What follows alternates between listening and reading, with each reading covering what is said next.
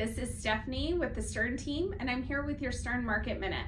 And today we're talking about why people are selling their home. Uh, in a recent study with Realtor.com, they discovered six reasons why people are looking to sell their home. And a few of these reasons are that home just is not meeting the needs anymore. Maybe the features of the home aren't quite what you're wanting, and they're features that you can't change of your current home. So you're needing to sell and, and look for another home.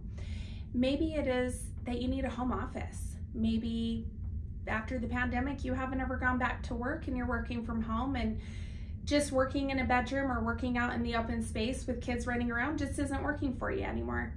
It could be that you have a large home with a large yard and you're looking to downsize, have less work, have less maintenance. Whatever the reason is, we're here to help you. We want to help you sell your home and find that next home that meets your needs and your wants. Again, I'm Stephanie with the Stern team. Please give us a call, shoot us a text. We're happy to help.